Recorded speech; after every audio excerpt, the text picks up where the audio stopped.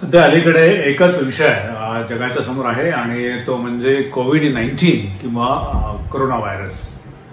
मला नाही वाटत की या विषया व्यतिरिक्त जागतिक पातळीवरती मग ते राजकारण असेल प्रसार माध्यम असतील किंवा समाजामध्ये समाज माध्यम असतील किंवा कुटुंबामध्ये सुद्धा या दोन गोष्टीबाबत म्हणजे एक तर कोरोना व्हायरसमुळे जे काही मृत्यूहानी किंवा जीवितहानी होते आहेत ते. आणि त्याचबरोबर यामुळे जे जगाचं अर्थकारण पूर्णपणे बदललेलं आहे स्लो झालेलं आहे किंवा ते थांबण्याच्या परिस्थितीमध्ये आलेलं आहे याबद्दलची चर्चा फार मोठ्या प्रमाणामध्ये केंद्रित झालेली आहे. कदाचित असं काही झालेलं आहे मानवताच्या दृष्टीने की याशिवाय दुसरा कोणताही विषय सध्या चर्चेला जाण्यासारखा नाही. हे तसं फार चांगलं चित्र आहे असं मला वाटत नाही. पण मनुष्य प्राणी त्याच्या एक्झिस्टन्समध्ये आतापर्यंत त्याने असे अनेक खूप असे बदल बदल घडलेले पाहिलेले आहेत. अनेक अशा प्रसंगांना तोंड देण्याची वेळ आलेली आहे. आणि त्यामुळे मला वाटतं की या प्रसंगामधून सुद्धा तो अतिशय चांगल्या पद्धतीने निभावून जाऊ शकेल आणि पुन्हा एकदा सर्वांचं जीवन अतिशय चांगलं होऊ शकेल. सर्वात जास्त चर्चा सध्या केंद्रित आहे केंद्रित होते. ती म्हणजे की कोविड नाईन्टीन किंवा कोरोना व्हायरस नंतरचं जग कसं असेल? नंतरची अर्थव्यवस्था काय असेल? आणि सर्वसाधारणपणे मग त्यामध्ये असा सूर लागलेला दिसतो की यानंतरचं जग हे पूर्णपणे बदललेलं असेल.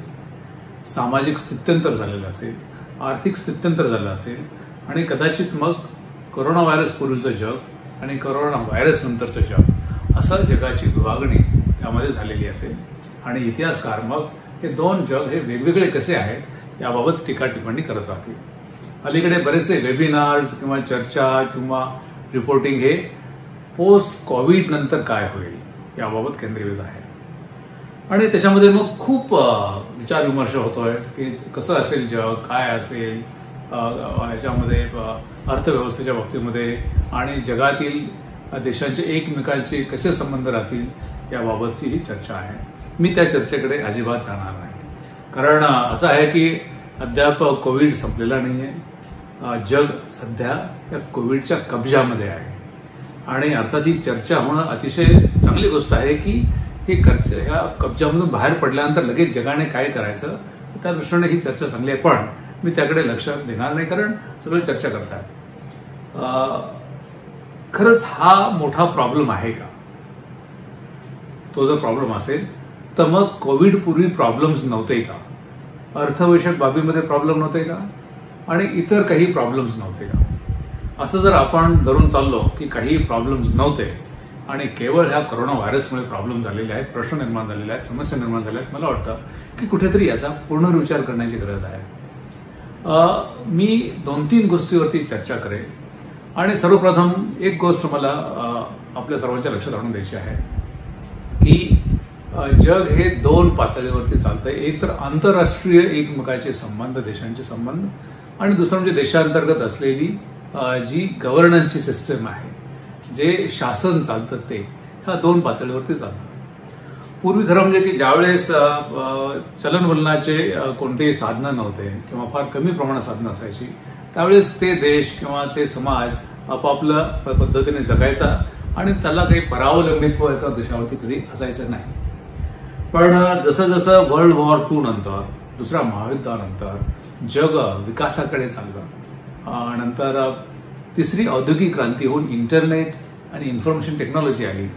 आणि त्यामुळे मग आता जगाचे जे फिजिकल सीमारेषा आहे त्या रेषा सीमारेषा पुसटशा होत जाऊन जग काही बाबतीमध्ये एकसंघ होण्यासारखी अशी परिस्थिती निर्माण झालेली आहे. आणि आपण ते बघतो आहोत की काही गोष्टी जे अमेरिकेमध्ये आज प्रॉडक्ट तयार झालं की आज किंवा दुसऱ्या दिवशी ते भारतामध्ये येतात तेव्हा एखादं सॉफ्टवेअर अमेरिका वापरत असेल ते सॉफ्टवेअर पुणे बेंगलोर किंवा हैदराबादमध्ये तयार झालेलं असतं. किंवा एखादं औषध जर फ्रान्समध्ये तयार झालं असेल त्या औषधाचा व्यापार हा दुसऱ्या दिवसापासून जगभर तयार त्यामुळे ही इंटरडिपेंडन्स आणि एकसंघ होण्याचं हे सुरू झालेलं आहे. त्यामुळे जगाच्या फिजिकल भौतिक सीमारेषा हा थोड्याशा पुसत सोड चाललेला आहे आणि जगभर असं एक बिग विलेज एक जग हे एक मोठं खेडं जे एकत्रित कनेक्टेड असं हे झालेलं आहे. त्यामुळे कनेक्टेड हा एक महत्त्वाचा प्रश्न आहे. पूर्वी भौगोलिकदृष्ट्या सेपरेशन असायचं बाउंड्रीजमुळे सीमारेषामुळे. आता त्या बाउंड्री जाऊन ते कनेक्टेड कसं होईल एकमेकाशी कसं संलग्न होईल याकडे त्याचा काल म्हणजे खरं म्हणजे दुसऱ्या महायुद्धानंतर सुरू झाला आणि तो झाला. त्यामुळे जागतिक पातळीवरती ह्या जगामध्ये असलेल्या देशामध्ये भेदभाव असू नये. सगळ्या अर्थव्यवस्था या कुठेतरी जोडल्या जाव्यात आणि सगळ्यांचा त्यामध्ये फायदा व्हावा. म्हणून ब्रिटन वूड सिस्टम नावाच्या ज्या सिस्टम ती इंटरनॅशनल मॉनिटरी फंड असेल वर्ल्ड बँक असेल अशा पद्धतीच्या सिस्टम्स ज्या तयार करण्यात आल्या.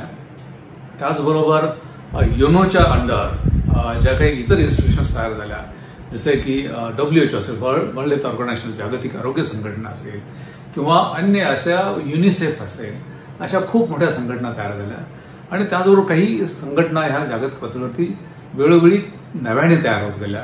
जसे की non proliferation treaty non nuclear proliferation treaty अशा काही ट्रेटीज पण आल्या जरी संघटना नसल्या तरी.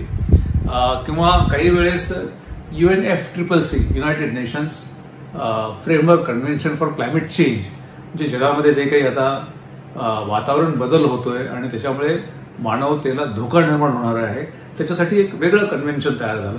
असे प्रचंड मोठ्या संघटना जागतिक पातळीवर तयार झाल्या जेणेकरून सर्व देशांचं चलनवलन हे व्यवस्थित चालेल. कारण आता आपण आयसोलेटेड नाहीये सर्व देश हे कनेक्ट होत चाललेले त्यांचं नेटवर्किंग चाललेलं आहे. त्यामुळे एका देशात जर काही होत असेल तर त्याचे परिणाम किंवा दुष्परिणाम देशात दुसऱ्या देशात होणार नाही आता असं नाही. त्याचे तात्काळ परिणाम दुष्परिणाम दुसऱ्या देशामध्ये होऊ शकतील. म्हणून या आंतरराष्ट्रीय संघटनांचं महत्त्व हे खरं म्हणजे खूप वाढीचं लागलेलं आहे. आणि त्याच्यामधून जो ग्लोबलायझेशन जागतिकीकरण ही संकल्पना आहे. आणि ती गेल्या एक खरं म्हणजे की एकोणीसशे साठ सत्तरच्या दशकापासून ते दोन हजार दोन हजार दहा पर्यंत अतिशय चांगल्या पद्धतीने झाली. अर्थात त्याच्यामध्ये काही त्रुटी पण आहे आणि त्या त्रुटी अशा आहेत की त्या खरं म्हणजे की कालपर्यंत त्याच्यामध्ये दुरुस्ती करायला पाहिजे होती. तशी ती दुरुस्ती झाली की नाही त्याच्याबद्दल आपण चर्चा करूया. दुसरं महत्वाची गोष्ट म्हणजे की जगाच्या पातळीवरती या संघटना ज्या आहेत त्याचबरोबर देशांतर्गत जी शासन व्यवस्था चालते ती शासन व्यवस्था कशी आहे? दुसऱ्या महायुद्धानंतर जे खरं म्हणजे गेल्या विसाव्या शतकामध्ये खूप देशामध्ये स्थित्यंतर घडून जग लोकशाहीकडे गेलेलं आहे. म्हणजे की हुकुमशाही किंवा राजेशाही किंवा अथॉरिटेरियन रूल जे असतात ते कमी होऊन बरंचसं जग हे लोकशाहीकडे आलेलं आहे. आणि त्यामुळे मग लोकांना त्यांचे हक्क लोकांना सुविधा किंवा लोकांच्यासाठी असलेले कायदे यांची सगळ्यांच्यासाठी समानता ह्या गोष्टीकडे जग कललेलं आहे आणि ही अतिशय चांगली गोष्ट आहे की जग लोकशाहीकडे गेलेलं आहे. त्यामुळे या दोन गोष्टी विसाव्या शतकामध्ये घडल्या की आंतरराष्ट्रीय संघटना तयार झाल्या आणि जग हे देशांतर्गत असलेलं जे प्रशासन व्यवस्था शासन व्यवस्था आहे ती लोकशाहीकडे आली. अर्थात त्याला काही अपवाद अद्यापही आहे त्यामुळे खरं म्हणजे की कोविड पूर्वी काही वाईट नव्हतं असं आपण सर्व आपण म्हणूया. तिसरी गोष्ट त्याच्यामध्ये अशी होती की जगाची अर्थव्यवस्था. आणि ही अर्थव्यवस्था सर्वसाधारणपणे पहिले औद्योगिक क्रांती जी झाली आणि पहिल्या औद्योगिक क्रांतीच्या वेळेस केवळ ती औद्योगिक क्रांतीच नव्हती तर अर्थकारण बदलायला सुरुवात झाली. आणि मग पूर्वीचं अर्थकारण हे केवळ राजाशी केंद्रित होतं. राजा किंवा तो जो ऑथॉरिटी असायचा त्याच्याशी केंद्रित होतं. पुढे ते कॅपिटल म्हणजे भांडवलशाही हा एक नवीन वर्ग तयार झाला. आणि मग सध्या जगाचं बहुतांश जी अर्थव्यवस्था आहे ते भांडवलशाहीवरती आधारित आहे. जरी चीन किंवा रशियासारखे देश जरी कम्युनिस्ट विचाराचे असले तरी त्यांची अलीकडची सध्याची जी अर्थव्यवस्था आहे ती बरीचशी त्याचे प्रमेय जे आहे त्याचे सिद्धांत जे आहे ते भांडवलशाहीवरतीच आधारित आहेत. आणि त्यामुळे मग गेल्या वीस पंचवीस वर्षापासून त्यांनी बदल करण्यास सुरुवात केली. आणि आता ते बऱ्यापैकी भांडवलशाहीमध्ये त्याचा ते फायदा घेत आहे भांडवलशाहीने या जगाला खरं म्हणजे खूप काही दिलं. की भांडवलशाहीमुळे काही लोकांना त्याच्यामध्ये खूप संशोधनं झाली. त्या संशोधनामधून मग काही लोक पुढे आले आणि त्या लोकांनी त्या संशोधनाचा वापर केला आणि मग लोकांच्या सुखसुविधा वाढल्या. आणि काही गोष्टी लोकांना जे परवडणाऱ्या शक्य नव्हत्या अशा गोष्टीचं mass production large scale production झाल्यामुळे त्या स्वस्त झाल्या. आणि मग आपण जे बघतो की आज जे काही जग आहे ते केवळ भांडवलशाहीचे फ्रुट्स त्याच्यामुळे आलेले आहेत तर एक तर आंतरराष्ट्रीय संघटना दुसरं देशांतर्गत असलेले लोकशाहीची वाढ आणि तिसरं म्हणजे भांडवलशाही आधारित जगाची अर्थव्यवस्था. या तीन गोष्टी या कोविड पूर्वी या जगाला अतिशय चांगली देण म्हणून गेले शंभर दीडशे वर्ष चांगलं काम करत त्यामुळे खरं म्हणजे की हीच व्यवस्था जर कोविड नंतरच्या पुढे चालवणं आणि त्याच्यामध्ये कुठेही व्यत्यय न येणं हे खरं म्हणजे आपण बघितलं पाहिजे. आणि तसंच मला वाटतं की सर्वकडे सूर आहे. मला याच्यामध्ये थोडासा वेगळा सूर आपल्यासमोर मांडायचा आहे. अर्थात हे माझे वैयक्तिक मत आहे. नंबर एक ह्या ज्या जागतिक संघटना आहेत त्या जागतिक संघटना ज्यांची सुरुवात झाली की ग्लोबलायझेशन जागतिकीकरण म्हणजे मानव हा एकच आहे. सगळ्यांनी अनरिस्ट्रिक्टेड अनिर्विंदपणे एकत्र येऊन सगळ्यांना फायदा कसा होईल याकडे आपण बघण्यासाठी ह्या संघटना तयार झाल्या.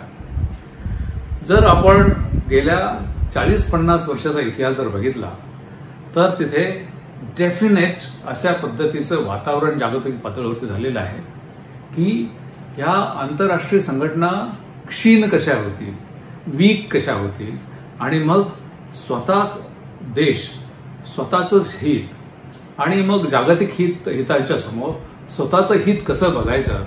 आणि मग त्या आंतरराष्ट्रीय संघटना काहीही जरी करत असल्या तरी त्यामुळे जग हे असं जिकडे की जागतिकीकरणाकडे जाण्यापेक्षा हे राष्ट्रीयत्वाकडे म्हणजे स्वतःचा फायदा असं द्वंद्व सुरू झालं आहे जागतिकीकरण विरुद्ध राष्ट्रीयत्व नॅशनॅलिझम.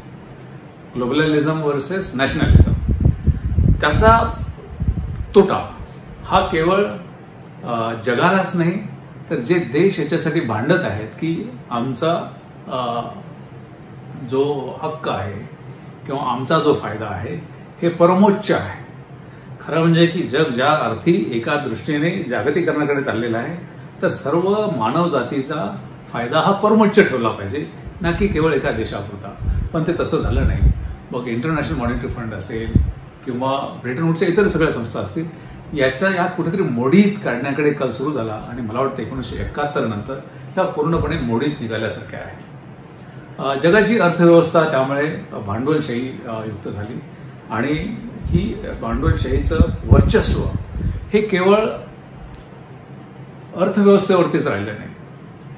त्यांनी खरं म्हणजे ते भांडवलशाहीचं वर्चस्व हे अर्थकरणाच्या बाबतीमध्ये कारखानदारीच्या बाबतीमध्ये व्यवसायाच्या बाबतीमध्ये किंवा सर्व्हिसेसच्या बाबतीमध्ये जर सीमित ठेवलं असतं तर आपण समजू शकतो होतो की हे एक पद्धतीने चांगलं चाललेलं आहे. पण या अर्थव्यवस्थेचं कुठेतरी विद्रुपीकरण गेल्या तीस चाळीस वर्षामध्ये सुरू झालेलं आहे.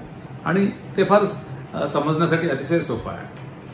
विद्रुपीकरण असं झालं की या भांडवलशाहीच्या ज्या इन्स्टिट्यूशन्स आहेत लार्ज स्केल कॉर्पोरेशन्स आहेत त्यांचं नाव घ्यायला मला काहीच हरकत नाही. उदाहरण द्यायचं जर झालं तो पूर्वी फोर्ट मोटर्स असतील जनरल मोटर्स असतील किंवा फार्मास्युटिकल कंपनीज असतील इंजिनिअरिंग कंपनीज असतील किंवा अलीकडच्या मग तुमचे अमेझॉन असतील किंवा मायक्रोसॉफ्ट असतील किंवा आपल्याकडचे रिलायन्स असतील हे असे जगातल्या मोठ्या कॉर्पोरेशन्स तयार झाल्या आणि त्यांच्याकडे मग अर्थव्यवस्था ही खेचून घेण्याची पद्धत सुरू झाली. हरकत नाही. कारण शेवटी तिथे त्यांनी एक हे ठेवलं होतं की efficiency of use of capital म्हणजे जर खाजगी क्षेत्राकडे गव्हर्नमेंटच्या ऐवजी खाजगी क्षेत्राकडे खूप मोठी कार्यक्षमता असते आणि त्यामुळे त्या कार्यक्षमतेमुळे मग जगाची अर्थव्यवस्था सुधारते. इथे कुठेतरी मला वाटतं की मानवाची चूक झालेली आहे. कार्यक्षमता असते पण ती कार्यक्षमता कशासाठी? केवळ अर्थार्जन करून स्वतःची संपत्ती वाढवणं की सर्व मानवतेच्या आणि सर्व समाजाचं ध्येय त्याच्यामध्ये हित साधणं. आता आपल्या पुढे मी एक छोटं उदाहरण देईल की ह्या कॉर्पोरेशन्समध्ये सुद्धा कसे स्थित्यंतर झाले? आपण समजा लक्ष जर दिला की फोर्ड किंवा जनरल मोटर्स सुरुवातीला खूप मोठ्या प्रमाणात वाहनं तयार करायची आणि ती जगभर विकायची आणि त्याच्यामध्ये त्यांनी प्रचंड पैसा कमावला आणि मोठे कॉर्पोरेशन्स ते तयार झाले. अर्थात त्यामध्ये सुद्धा त्यांचा जवळजवळ चोपन्न ते पंचावन्न टक्के त्यांचा रेव्हेन्यू जो होता तो कामगारावरती खर्च व्हायचा. कारण मोठ्या प्रमाणे कामगार त्याच्यामध्ये असायचे कारण ऑटोमेशन जेवढं नव्हतं. तेच जर अलीकडच्या काळातले आपण जर कॉर्पोरेशन्स बघितल्या जसं की अमेझॉन मोठ्या कंपन्या अमेझॉनचा किती टक्के खर्च हा कामगारावरती होतो? कारण कामगारांची संख्या त्यांच्या रेव्हेन्यूच्या सापेक्ष आहे का? तर हे अतिशय विद्रूप चित्र दिसेल.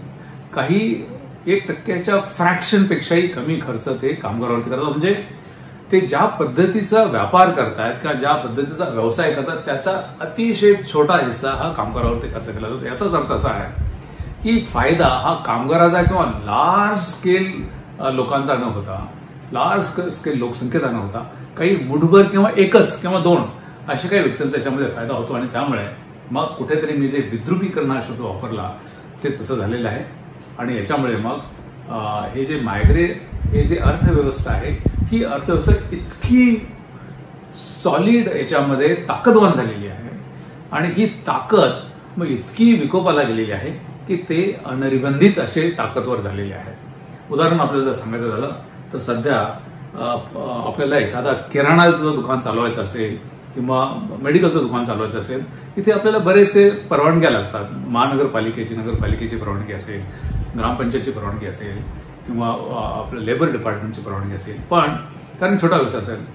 पण एखाद्या परदेशी कंपनीला जर इथे जर व्यवसाय करायचा असेल आणि त्याच्यामधून ते प्रचंड नफा कमवून घेऊन जाणार असतील ते अतिशय सिंपल करून ठेवलेलं आहे. त्याच्यामध्ये काही आणि कुठलंही गव्हर्नमेंट काही करू शकत नाही की तुम्ही किती टक्के लोकांना रोजगार दिलेला आहे. मग तुमचा मेजर पैसा रोजगारावरतीच गेला पाहिजे. त्याशिवाय तुम्ही आमच्या देशामध्ये व्यापार करू शकत नाही.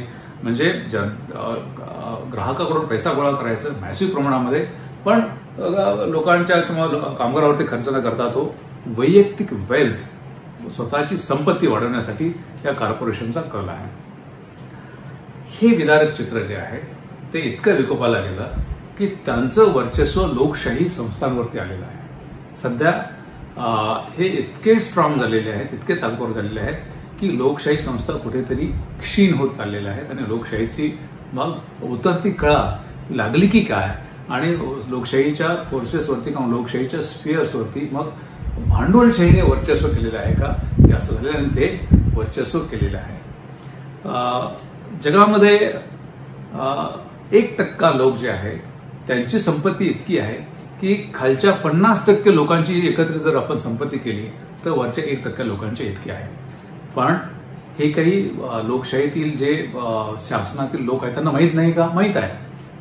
मग ते का काही करत नाही ते काही करू शकत नाही कारण भांडवलशाहीचं इतकं वर्चस्व झालेलं आहे की ती अमर्याद अशी संपत्ती गोळा करण्याची एफिशियन्सीच्या नावाखाली जे चाललेलं आहे ते कुणीही थांबू शकत नाही. त्यामुळे सध्या परिस्थिती एका नोबेल लॉरिएटने असं म्हटलेलं आहे की हे जग फक्त जे एक टक्क्याची मी जे संपत्ती म्हटलं त्यांच्यासाठी त्यांच्याकरिता आणि त्यांनी चालवलेलं जग आहे का? अशी परिस्थिती सध्या झालेली आहे. म्हणून मला वाटतं की इंटरनॅशनल इन्स्टिट्यूशन्स एवढ्या सुदृढ झाल्या नाही किंबहुना त्या वीक करण्यात आल्या. दुसरी गोष्ट अशी आहे की लोकशाहीवरती भांडवलशाहीचं अतिक्रमण आक्रमण झालेलं आहे आणि लोकशाही ही त्याच्या संकल्पनेपासून सिकुडली गेलेली आहे. तिसरी गोष्ट अशी आहे की मग जागतिकीकरणाचं जे आपलं हे वारं आहे ह्या वाऱ्याच्या बाबतीमध्ये मग कुठेतरी नॅशनलिझम सुरू झालंय. आपण जर आता बघितलं की चायना विरुद्ध युएसए अमुक विरुद्ध तमुक अशा पद्धतीचे वॉर चाललेले आहेत. मग इथे वर्ल्ड ट्रेड ऑर्गनायझेशन जी फार मोठ्या विचार करून करण्यात आली होती लोक एकत्र करण्यात आले होते ती वर्ल्ड ट्रेड ऑर्गनायझेशन कुठे आहे? या दोन देशांचाच डायलॉग का चाललेला आहे? आर्बिट्रेटर म्हणून किंवा एक अंपायर म्हणून जगामध्ये ही जी संस्था तयार केलेली आहे त्यांचं अस्तित्व का नाही आहे किंवा मग U N F triple C म्हणजे united nation forum framework convention for climate change जे तयार करण्यात आलेले ते जे सांगतंय त्याच्याप्रमाणे मग क्लायमेट चेंजच्या बाबतीमध्ये काय केलं जात नाही. काही देशांनी ठरवलंय की नाही आम्ही काही करणारच नाही कारण आमच्या इंडस्ट्रीला त्याच्यामुळे तोटा होतो किंवा आमच्या इंडस्ट्रीवरती ताण येईल. त्यामुळे आम्ही वातावरण बदलाच्या बाबतीमध्ये आम्ही काही करणार नाही. त्यामुळे आता कुठेतरी जग जे हे कोरोना व्हायरस नंतरचं जग काय व्हायचं असते होईल पण त्यापूर्वीच जगाची ही असं वातावरण तयार झालेलं आहे की पुन्हा एकदा मानव जातीने विचार केला पाहिजे की आंतरराष्ट्रीय संघटना कशा सुदृढ होतील जेणेकरून जागतिक लोकांचं सर्वांचं भलं कसं होईल ना की एका देशाचं? नंबर एक. नंबर दोन पुन्हा एकदा लोकशाही आणि लोकप्रतिनिधींचा एक स्पियर तयार होईल. ना की त्यांच्यावरती भांडवलशाहीचं कुठे? वर्चस्व तयार होईल. मला वाटतं की हे जर झालं नाही तर मग कोविड नंतर काय होणार आहे किंवा खरंच होणार असं नंतर करणार हा ते चर्चा चालू राहील. पण त्याच्या अगोदर गेले तीस चाळीस वर्ष ही जी दुर्दशा होत चालली आहे त्याच्याकडे सुद्धा मला वाटतं की आपल्या सर्वांना लक्ष द्यावं लागेल. आणि याबाबत मग आपण काय केलं पाहिजे याच्यामध्ये नंतर आपण चर्चा करणारच आहोत.